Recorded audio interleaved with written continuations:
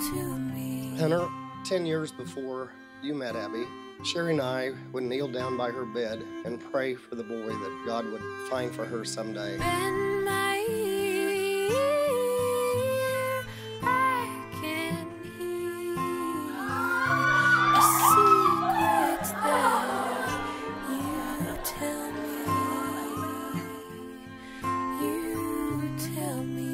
We just can't believe that he delivered you to us and to Abbey. We just love you like a son. I am the sky above, and you are the. By the way, three of our grandchildren wanted to marry Hunter, and one of our grandsons. Try to get down,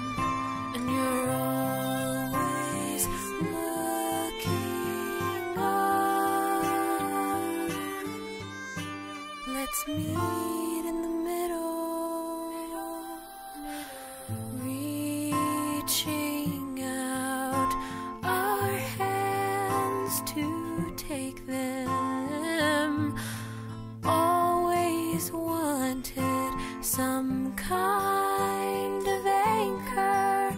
Now we've got them. My beloved, as I sit here in my bed for the last time as a McNeil, all I can think about is that for years I have been longing for you, longing to get to this exact moment with you here today. In difficult times, I will hold you close, and in times of celebration, I'll celebrate all night and day with you. You are what makes me better. You are what gives me hope. Sweet and low, sweet and low. The dark is calling. You are more, more handsome, more kind, more gentle, more loving,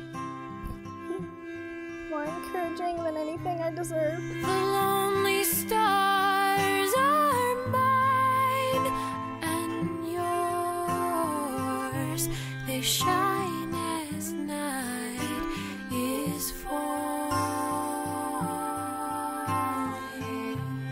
Hunter and Abbey, you've declared before God and these witnesses your intention to live together as heirs of the grace of life. I therefore, ministering in Christ's name as a minister of the gospel, by the power invested in me by the state of Oklahoma, pronounce you to be to one another husband and wife, whom therefore God has joined together, no man can separate. Hunter, you may kiss your new bride.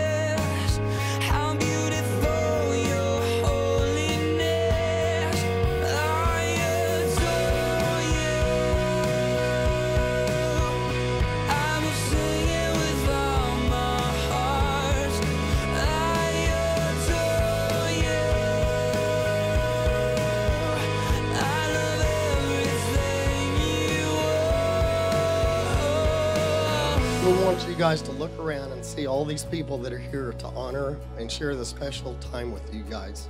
And my toast is may you never waver from your commitment here tonight. May you always encourage and forgive each other for the rest of your lives. And may you continue to seek God's will in everything you do.